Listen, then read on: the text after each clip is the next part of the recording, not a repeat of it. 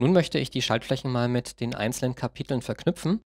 Und bevor ich damit beginne, gehe ich jetzt mal hier in den Bereich Schnittfenster und gehe auf mein eines Schnittfenster, also auf meinen Film. Klicke da mit der rechten Maustaste drauf und sage Umbenennen. Damit das jetzt hier nicht immer so lang ist, der Name, ändere ich den mal einfach auf Film. Warum? Das wird man auch gleich im Weiteren nochmal sehen. Also dieses Schnittfenster heißt jetzt einfach Film. Und jetzt möchte ich hier die erste Schaltfläche verlinken. Und zwar diese hier. Und die soll mit dem ersten Kapitel aus meinem Film verknüpft werden. Und dazu kann ich jetzt in den Eigenschaften für diese Schaltfläche einfach dieses Verknüpfungs-Drag-and-Drop-Symbol nehmen, dieses Seil, und das ziehe ich jetzt hier auf die Kapitelmarke 1.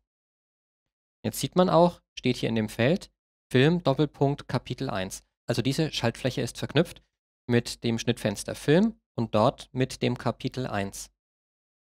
Diese Methode, wie ich sie jetzt gerade eben hier gezeigt habe, mit dem Gummiband, die kann natürlich etwas unübersichtlich und umständlich werden, gerade wenn man hier wirklich einen langen Film hat.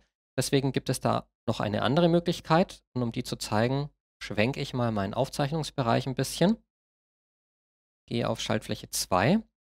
Und statt jetzt hier mit diesem Gummiband die Verknüpfung zu setzen, gehe ich auf diese Schaltfläche. Und da geht jetzt nochmal so ein Menü auf.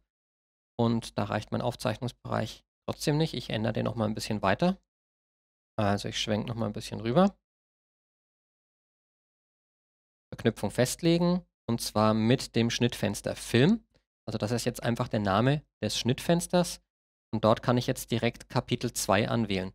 Und das ist unter Umständen eben die schönere Variante. Ich wähle jetzt mal Marke für Kapitel 3 an, Film, Kapitel 3 und die letzte Schaltfläche eben verknüpft mit Kapitel 4. Jetzt sieht man, dass hier im Menü auch gleich jeweils die Bilder an der Kapitelmarke übernommen wurden. Das ist ja auch okay so. Und ich habe jetzt hier meine vier Schaltflächen, die jeweils direkt zu dem jeweiligen Kapitel führen.